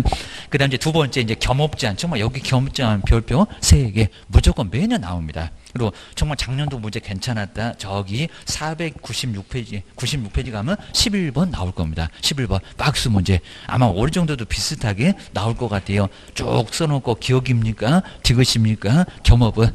이 문장을 잘못 보시면 나중에 정답이 다 손들고 난리가 납니다. 답을 못 찾겠네 해갖고 상당히 좀 짜증날 문제가 요거. 자, 내용이 나오는 게 아니라 문장으로만 나옵니다. 먼저 요거 이제 문장이 어려우니까 이제 다음 시간에 한번 체크해 볼 건데 먼저 70 이제 여기 이제 한 문제가 매년 나오니까 77페이지에 겸업 그러니까 우리가 중개업만 하는 게 아니라 뭐도 할 수 있다고요? 겸으로 겸으로 할 수 있는 게 뭐가 있다? 여섯 개. 자, 여섯 개를 할 수가 있다는 겁니다. 근데 꼭 요거 많이 물어보시는데 자 먼저 법인의 이러니까요. 법인 회사 차려서 한다는 법인의 겸업 그러니까 법인이라고 하니까 자꾸 그러면 공인중개사는 못하냐고 공인중개사인 개업공사하고 부칙을 공인주사고 부칙은 요거 이제 개인들이 돼 회사 말고 요 사람은 개인들인데 거의 퍼센트가 99%가 다 공인주사로 개업을 하시고요. 회사로는 1%밖에 안 됩니다. 그러니까 100집에서 한 집이 딱 예, 퍼센트가 나와 있습니다. 그게 법인이라는 겁니다. 회사 차려서 하는 건 거의 없습니다. 근데 요 사람 한다 못한다 한다. 자꾸 이제 못한다고 하는 게 아니라 여기도 외국입니다. 법인은 까탈스러워서 범위를 정해놨는데 요 사람은 얼마든지 경험 여섯 개. 자 대신에 이제 부칙은 경매는 못한다. 저기다 이제 표시할 건데 경매는 못할 건데 그럼 다섯 개는 할 수가 있고 공인주사도 얼마든지 여섯 개는 할 수가 있다는 겁니다. 그리고 우리 공인주사는 겸업 외에도 하고 싶으면 건축사 일도 할 수가 있고요. 아니면 뭐 자격증 가지고 있으면 감정평가사, 법무사 우리 오다 가다 보시면 법무사하고 공인중개사 사무소로 같이 내놓으신 분도 계시다는 겁니다. 자격증 다 취득해서 아마 공인중개사부터 먼저 취득했을 것 같긴 한데 업무 해보다 보니까 등기 일 이런 거 이제 어차피 자연스럽게 되잖아. 중개했다. 중개하면 등기가 필요하잖아요. 그러면 법무사가 등기하겠다. 좀 싸게 주겠다 하면은 할 수가 있다는 겁니다. 아니면 세무사 자격증이 있다. 그리고 공인주사 자격증이 있다. 같이 하라는 겁니다. 세금을 또 신고를 해주면 되니까 이런 식으로 좀 시너지 효과가 좀 나타날 수가 있다는 겁니다. 중개하면서 당연히 세금 신고, 중개하면서 등기. 네, 이러면서 그래서 뭐 변호사는 거의 자격증 요건을 따지는 않는 것 같은데 그리고 자꾸 이제 변호사 자격으로 공인주사 일을 해보려고 저렇게 아주 몇 번씩 들이대고 있다는 겁니다. 네, 지금 못한다고 이제 판결 났고 게임입니다. 이런 식으로 개인도 당연히 경험 개는 충분히 할 수가 있다는 겁니다. 법인만 해라 그런 거 아니라는 겁니다. 이건 정말 자꾸 물어보시고 애매하고 또 하니까 이런 것들은 조금 주의하셔야 됩니다. 당연히 공인주사도 자 먼저 첫 번째 여섯 개인데 꼭 여섯 개 중에서 문장으로 좀 잘 보니까 문장으로만 나옵니다. 근데 비슷해 보이도 아닌 게 정말 많다는 겁니다. 정말 유사품에 꼭 주의하셔야 됩니다. 나 먼저 첫 번째 용도가 상업용이었을 때 정말 여기다 뭐 농업용 이미 내봤습니다. 상업용 건축물 그러면 상가 그래도 괜찮습니다. 상업용 건축물만 되는데 여기다가 농업용 그리고 공업용 그러니까 나올 문장이 거의 정해져 있습니다. 그러니까 문장 안에서 보시면 다 나옵니다. 농업용 그러면 안 된다는 겁니다. 농업용 말고 그리고 공업용 그래도 안 되고 무슨 비닐하우스, 공장 이런 것들은 말이 안 됩니다. 요런 상가 우리 이제 학원에 있는 이런 상가 같은 건축물 그런 것들만 겸업으로 할 수가 있다는 겁니다. 자, 물건이 자, 건축물이 상업용 외에 농업용, 공업용 건축물 이런 것들은 겸업 대상이 아예 아니라는 겁니다. 그러니까 우리 법인이 무슨 농업용이나 공업용을 관리를 하고 있다. 그러면 등록 취소를 받을 수가 있다는 겁니다. 안 된다고 이게 제재가 아주 세다는 겁니다. 업무 정지가 아니라 3년 동안 영 못할 수 있다는 등록 취소를 받을 수가 있다는 겁니다. 그리고 상업용 건축물하고 그리고 이제 주택 근데 우리 주택의 종류는 이게 안 된다는 게 아니라 단독주택도 되고 공동주택도 되고 다 된다는 겁니다. 자 그러면 자, 우리 공부하실 때 단독주택 뭐 단독주택이나 공동주택은 뭐 이건 개론에서도 1차에서도 올해 공법 문제인데 자꾸 나오네요. 근데 우리 법령에서는 거의 안 나올 적입니다. 단독주택, 공동주택 이런 거 다 된다 안 된다? 된다. 뭐 한두 번째 진도에서 그냥 넘어가 버릴 건데 먼저 단독주택은 자 먼저 하숙집이 다중 다중주택 좀 보기 어려울 건데 요걸 다중주택입니다. 취사 설비 돼 있어서는 절대 안 된다는 다중주택이 뭐다? 요게 바로 예, 여기 단독주택.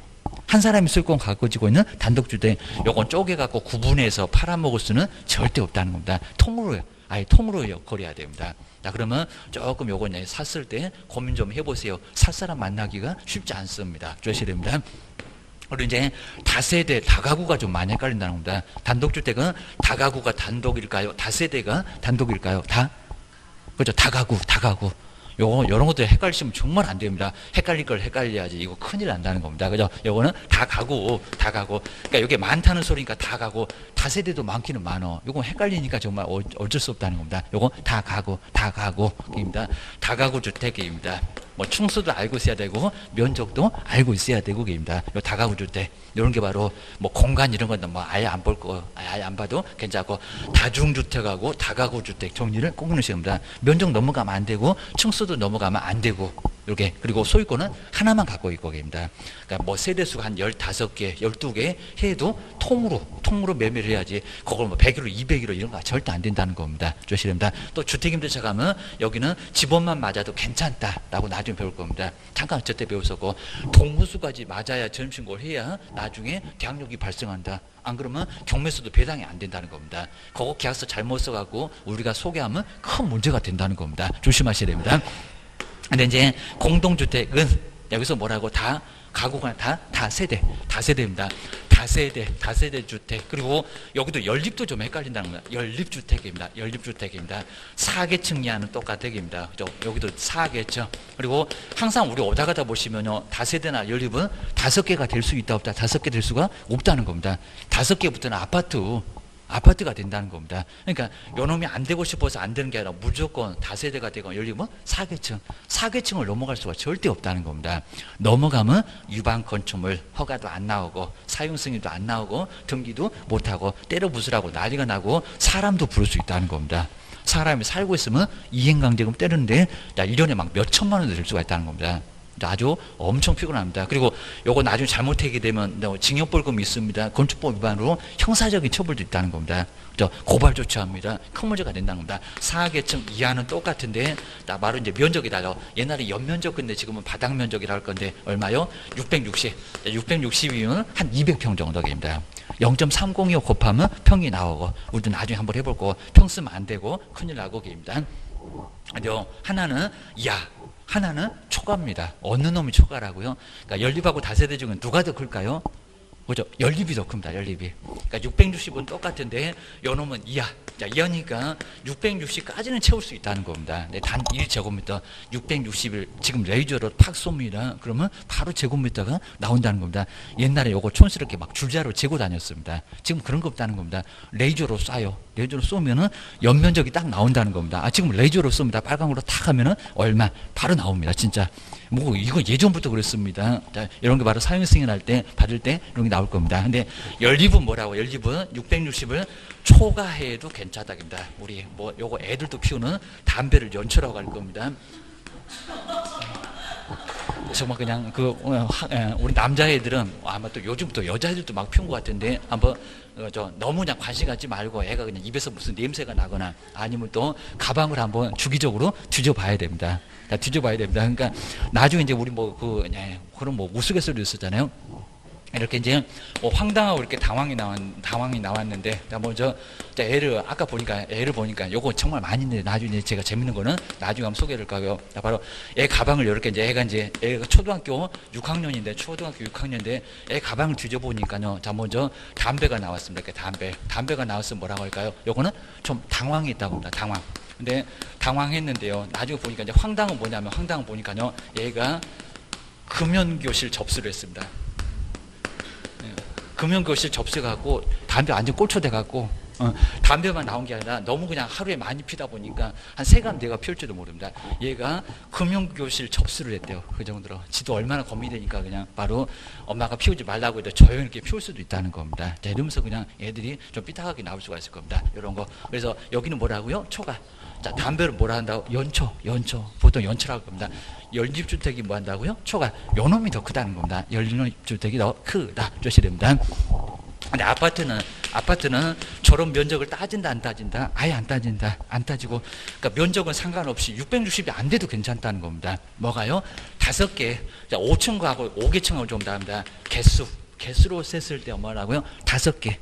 주거용 개수가 하나 둘셋넷 뭐 다섯 개만 되면 정말 재건축에서는 지분율 엄청나게 높을 거니까 이런 것들은 무조건 우리가 실무하실 때 저층은 정말 저층은 우리도 꼭 한번 투자 한번 해보시라는 겁니다. 그죠? 대지권은 엄청나게 아주 클 거니까 나중에 거기가 권리 가격이 되면 추가 네, 추가적으로 낼 추가 부담금이 엄청 줄어든다는 겁니다. 근데 너무 큰 고층 고층은 n 분의 1 해놓으면요 대지권 자체가 엄청 적다는 겁니다. 그러면 이제 주거나 주거나 나중에 나 추가 부담금 쪽이 아주 심하게 부담이 될 수밖에 없다는 겁니다. 그러니까 이렇게 다섯 개 층부터 이렇게 다섯 개 층부터 아파트니까 그리고 용적률 많이 안 빼먹었고 이런 것들은 일반 분양분을 엄청 크게 지어서 아예 공사리금으로 치면은 아예 추가할 부담금, 추가 부담금 자체가 없을 수가 있습니다. 이런 것들은 꼭 한번 정리해 놓으시라고 합니다. 그리고 내가 못 사겠으면 우리 동기가 됐건 그리고 우리 가족이 됐건 가족이 사는 건 괜찮으니까 얼마든지 해줄 수 있다는 겁니다. 5계층 이상이면은 뭐라고 이렇게 면적 상관없이 면적은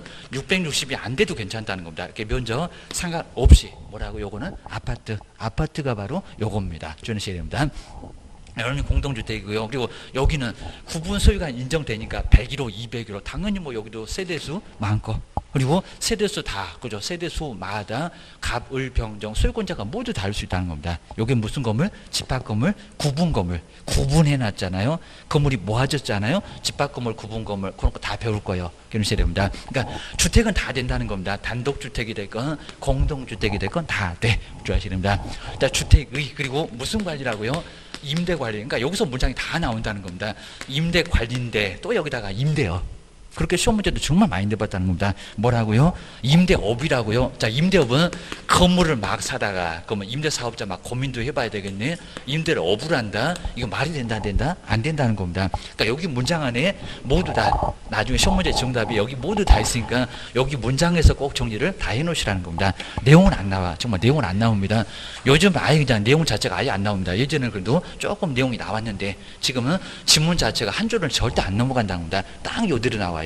주셔야 됩니다. 근데 가봤더니 시험장에 임대업, 주택의 임대업, 그리고 상가의 임대업, 그러면 말이 된다, 안 된다? 안 된다. 그리고 이제 임대 관리 등 부동산에 관리된, 이 부동산을 관리하는 사람 따로 있는데 여기서 뭐 한다고요? 관리를, 그러니까 여기다 또 관리업 그러면 안 된다는 겁니다. 관리 뭐라고요? 대행. 문장이 아주 여기는 표가 정말 안 된다는 겁니다. 관리 뭐라고요? 대행, 관리, 대행. 하여튼 무슨 세 글자만 나오면 다 이상합니다. 여기서 뭐라고요? 관리를 업을 한다. 관리를 업을 한다. 그러니까 이것도 이제 뭐 3월에 가도 또 얘기할 거고 5월에 가도 또 얘기하고 저 문제풀이 하면서 또 얘기하면 정말 여기는 이제 다 알아들 겁니다. 정말 머리도 염치같이 들어간다고 했습니다. 바로 여기는 관리업. 관리업이 아니라 관리 대행. 관리 대. 그러니까 주택관리사가 대신 할 것을 대행. 우리는 대신할 수가 있다는 겁니다. 근데 약간 심하게 나왔을 때는 토지의 토지의 관리 대행은 되냐고 토지를 관리한다 토지를 관리할 게 있나요? 뭔 관리를 할래요? 뭐 땅을 째려보고 있습니까? 토지를 관리 대행하는 게 아니라 뭐라고요? 토지 위에 있는 그러니까 이것도 이미 시험 문제 나왔다는 겁니다 저기 28회째인가 나왔을 겁니다 좀 이따가 3번지 뭐볼 건데 여기 토지의 관리 대행 그러니까 토지의 분양 대행 토지의 관리 대행은 땅은 된다 안 된다? 안 된다 다 땅 위에 있는 상업용 건축물하고 주택이라고 했지 땅을 관리하는 것은 절대 아니라는 겁니다. 여긴 대행 나와도 아니다. 그러니까 여기서 더 이상 문장은 아예 없다는 겁니다. 저건 농업용, 공업용 바꾸거나 주택은 또 안 된다고 하거나 임대 관리인데 임대업 그리고 관리 대행인데 관리업 그러면 X가 된다는 겁니다. 여기 문장 말고 더 이상은 없어요. 주의를 하셔야 됩니다. 네, 두 번째가 이제 부동산, 부동산 그리고 이런 것도 정말 꼭 해볼 수가 컨설팅 정말 컨설팅은 꼭 한번 해보셔야 됩니다. 부동산이 이용 상담 그리고 개발 상담 그리고 거래 관한 그리고 뭐라고 꼭 문장 저기 상담 요 상담을 좀 기억하셔야지. 그러니까 우리 시험 문제가 개발업도 이미 내봤답니다. 개발업 개발업으로 한다 이거 말이 안 되죠. 정말 세 글자만 나오면 다 이상하다니까요.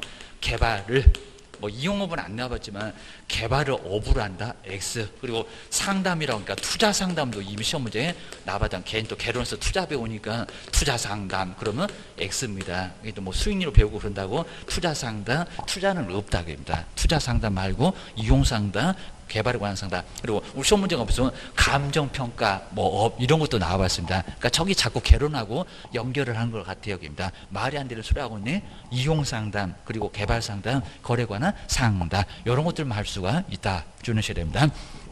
먼저 첫 번째가 이제 이용 상담은 자 이용 상담은 건물을 왜 그렇게만 쓰냐고 해서 이제 이용을 바꿔보라고 바꿔보라고 상담을 해볼 수가 있다는 겁니다. 그러면 저번에 약간 봤을 건데 그럼 보실까요? 다 먼저 요 101호를 101호를 이제 그러긴 좀 모를 건데 다 먼저 요 101호를 101호를 주택으로만 쓰고 있으니까 101호를 주택으로 쓰고 있으니까 자 주택을 이렇게 여기 용도잖아요. 용도를 토지는 지목이라고 하고 건물은 용도라고 합니다. 용도를 바꿔보세요. 어떻게 저 벽유를 뭐 음식점으로 상가로 좀 바꿔보세요. 요거 가능할까요? 그죠? 용도 변경 절차를 거치면 가능하다는 겁니다. 근데 우리가 보통 이제 용도 변경 절차를 거칠 때 좀 이렇게 안전했다가 요거 다 배웠잖아요. 안전했다가 약간 배웠을 겁니다. 그리고 위험한 쪽으로 막 가고 있다는 겁니다.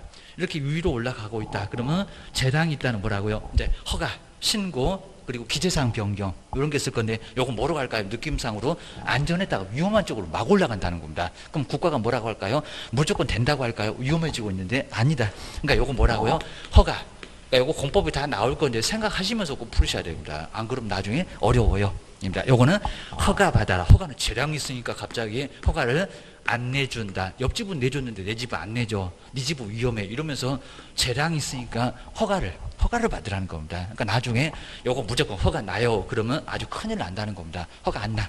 안 나면 네가 책임질 거야. 문제가 된다는 겁니다. 조심해. 비용이 들어갔으니까 문제가 된다는 겁니다. 조심해야 됩니다. 근데 반대로 위험한 쪽에서 뭐 위로 올라가는 아래로 내려가는 이제 그런 거 배우실 겁니다. 근데 위험한 쪽에서 오히려 안전한 쪽으로 내려가고 있다는 겁니다. 아주 위험한 집이 안전해지는 집으로 간다는 겁니다. 국, 음, 가는 뭐라고 할까요? 좋아라고 하고 쪽입니다. 이제 불날 위험도 없고 사고 날 것도 없고 그럼 뭐가 된다고요? 여기는 신고만 그러니까 이 신고는 접수만 되면 이게 재량이 없다는 겁니다. 서류만 딱 맞으면 우리가 딱 서류 집어던지면 저기 시군구청 공무원들이 그거 주소 담고 있습니다. 이런 식으로 무조건 이거 무조건 접수를 받아줄 수밖에 없다는 겁니다. 근데 만약에 아예 그냥 용도 변경했을 때 여기서 동일한 시설고 아예 같다는 겁니다. 이건 뭐라고요? 건축물 대장만 기재사항만 이렇게 기재사항만 모하면 된다고요? 이거 다 배울 겁니다.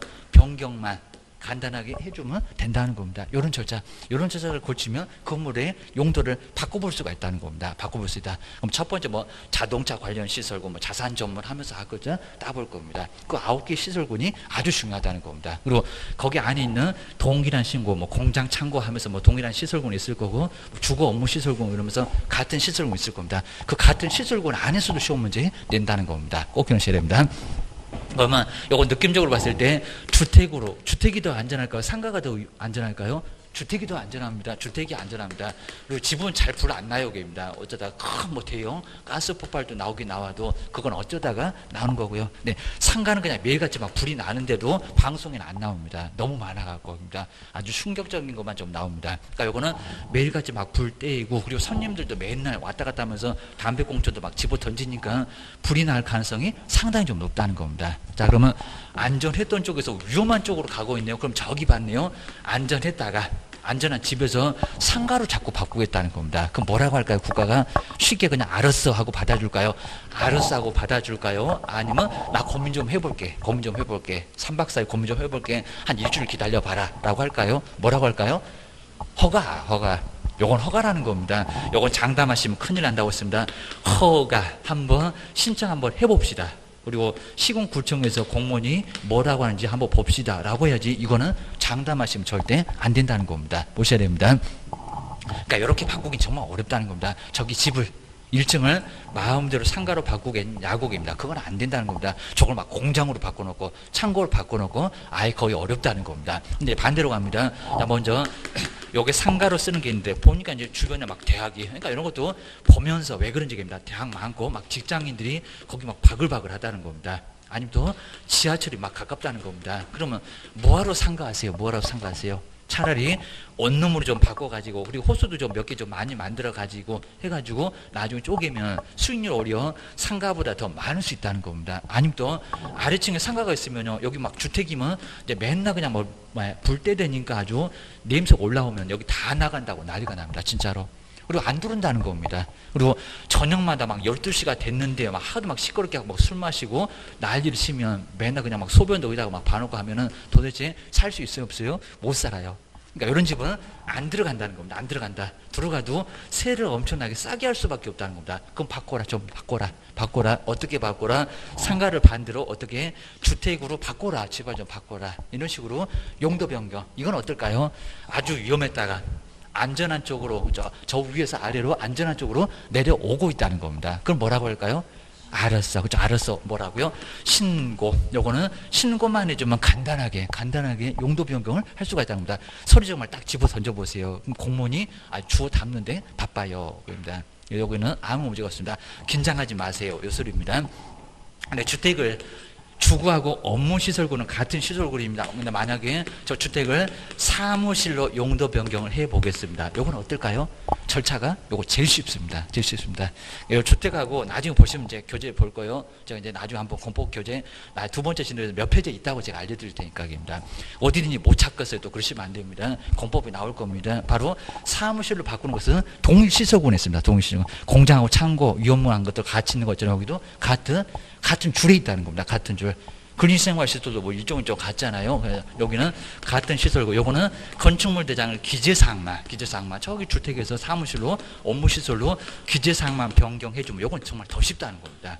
요건 아주 간단하게 간단하게 가능할 수 있다는 겁니다. 이제 나중에 이제 뭐 주차 시설에서 뭐 대수가 맞네 안 맞네 그럼 이제 여기서 약간 좀 제동이 걸리고 나머지는 크게 문제될 거 없다는 겁니다. 이게 뭐라고요? 이용 상담 바꿔보라고 이용을 좀 제발 좀 주택을 좀 바꿔보라고 상가를 바꿔보라고 주택을 사무실로 바꿔보라고 수익성이 더 난다고 주시됩니다. 그럼 우리가 또 계약서 쓰게 생겼잖아요. 주셔야 됩니다. 두 번째가 이제 개발 상담. 요거까지만 보실까요? 두 번째가 이제 개발. 땅을 놀지 말고 뭐 하라고요? 개발 좀 하라고. 요게 이제 개발 상담. 그러니까 우리 갑은요, 우리 갑은 땅 소유권자인데, 아예 그냥 땅을 계속 놀리고 있다는 겁니다. 땅 소유자. 그 사람은 땅을 써먹을 생각을 아예 안 한다는 겁니다. 그러면 뭐요? 개발해라. 그리고 이제 우리가 보통 이제 우리 어, 저기 세금에서도 많이 배우실 건데, 근데 땅을 이렇게 계속 놀리고 있으면 뭐가 돼요? 요게 비사업용이 된다는 겁니다. 비사업용. 그러면 양도 소득세가 막 10%씩 막 아예 올라간다는 겁니다. 옛날에는 비사업용은 장기보유 습별공제도 인정을 아예 안 해줬습니다. 그러니까 놀리고 있으면 절대 안 된다는 겁니다. 그리고 종합부동산세 저기 막 종합하고 막 분리하고 나올 건데 거기도 비사업용은 엄청나게 얻어 맞는다는 겁니다. 그러니까 뭔가 개발해야 되고요. 그리고 여기 집이 있으면 2년 거주나 보유기간 채우면 비과세도 될 수 있다는 겁니다. 땅하고 같이. 이러니까 개발하는 게 아주 좋다는 겁니다. 이대로 놔두게 되면 세금 얻어 맞는데 죽어난다는 겁니다. 자, 그럼 이제, 그러니까 우리 개론에서, 개론을 그냥 배우는 게 아닙니다. 지역 분석을 한번 해봐라. 입니다 지역 분석. 그러면 요 지역이 주택이 적합한지, 그리고 상가가 적합한지, 아니면 공장을 좀 모르게 할 건데, 공장이 적합한지, 이런 용도를 먼저 선택을 해보라는 겁니다. 지역에 좀 어울리게. 그러니까 주변을 보니까 집들이 쫙 있다는 겁니다. 그럼 집으로 갑시다. 이런 식으로 이제 가든지 아니면 또 상가가 또 전혀 없다. 근데 뭐 전용은 아니면은 상가도 가능하겠다. 뭐 근린 생활 시설 하나 올립시다. 라고 해가지고 거기 막 미용실도 있고 부동산도 있고 편하게 슈퍼도 있고 약국도 있고 이런 식으로 갈 수 있다는 겁니다. 먼저 이렇게 지역 분석해 보니까 뭐가 적합하다? 상가가 나왔네요. 상가. 상가로 쓸 수 있다고 하게 되면 상업적으로 돼야 될 겁니다. 그럼 이제 우리가 배웠던 거니까 건폐율 한 50% 그러면 50% 요거 100평이면 50평만 바닥 면적하고 그다음에 용적률 계산하면 그 계산한 방법도 나온다는 겁니다. 충수 몇 층으로 나오겠네요. 이런 식으로 해서 이렇게 여기 이제 개별 분석입니다. 이제 좁혀봐서 개별 분석을 하게 되면 요거 바로 뭐가 돼요? 개발 상담이 벌써 됐잖아요. 건물을 올렸다는 겁니다. 자, 그럼 이제 여기 이제 우리 상가는 보통 요 상가 같은 경우는 아예 그냥 비과세는 좀 없다 보니까 자, 비과세. 그럼 이제 여기도 비과세 만들려면 주택하고 좀 섞어 가지고 주택 부분이 한 반 넘어가게 많이 찾아오면 통으로 주택으로 다 인정을 해 주니까 그럼 1주택으로 9억까지는 비과세를 받을 수도 있다는 겁니다. 그러니까 이제 종합부동산세에서 좀 싸지고 그다음에 세금도 낮아지고 그 다음에 양도소득세 걱정 안 되고 이런 식으로 그러니까 이런 것도 좀 해주면 될 건데 그러니까 요것도 이렇게 세법 요 세법을 정말 많이 배워보시는 게 세법 교수님은 한 2주마다 한 번씩 보실래나요? 어, 한번 또 빠지면 한 달에 한 번밖에 뵙기, 뵙기 어려울 겁니다. 아주 귀하신 분입니다. 그다음에 그러니까 이제 이런 것들 정말 잘 주의해 놓으시고요. 그리고 나 지금은 지금은 급하니까 지금은 막 이런 걸 잘 정리해 놓으시고 나중에 실무할 때는 정말 또 따로 배워야 됩니다. 왜 또 저건 왜 배웠대 해서 그러니까 여기 이제 지금 이제 정답 맞추는데 정신 없으니까요. 요걸 또 세법이 또 정확하게 또 요, 요런 것만 생각하시면 나중에 합격은 못 해요, 여기입니다. 그러니까 지금은 이제 막 세율 따지고 계산한 거 따지고 그리고 나중에 왜 써먹는데 이런 거 생각하시게 되면 정말 나온다는 겁니다. 나옵니다. 이런 거 안 좋아하겠어요? 정말 아주 좋아하죠. 입니다 있는 거 돈밖에 없으니까 얼, 얼마든지 이런 것들은 충분히 할 수 있다는 겁니다. 그럼 건물 나왔네요. 그럼 요걸 통으로 분양대 그리고 분양대에다가 관리도 내가 할 수가 있다는 겁니다. 저 건물 다 내 거예요. 요게 정말 전속이 되면은 요 건물 때문에 그러니까 이런 건물을 한 10개 정도만 잡아 놓으면은 요거 관리하는 거 10개 정도만 잡아 놓으면 가만히 있어도 그냥 계약서 쓰느라고 바쁩니다. 오늘은 A 건물, 어, 내일은 B 건물 다 그냥 약속이 잡혀 있다는 겁니다. 이렇게 하는 경우가 정말 많이 있다는 겁니다. 지금 우리가 요 관리도 하고 있습니다. 정말 관리도. 우리가 관리도 자, 이런 것들 정리하셔야 됩니다. 이제 소변이 급하시니까 이제 여기서 쉬겠습니다.